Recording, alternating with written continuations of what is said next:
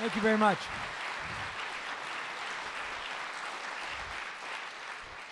So, uh, thank you very much. Is this on now? We ready to roll? Okay.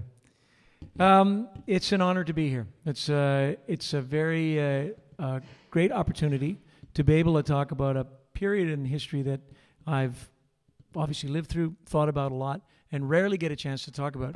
Um, this will be my inaugural speech. I have never given a speech, and so I thought that I'd lead with a song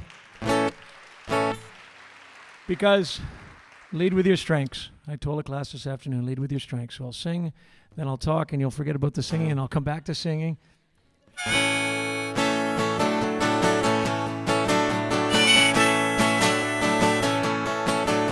The sun breaks, well, I can't wait till I be on my way again. I'm sick and tired of waiting with nothing to do.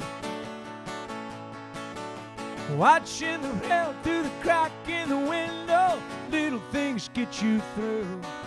Like the same sun rising on me is rising over you.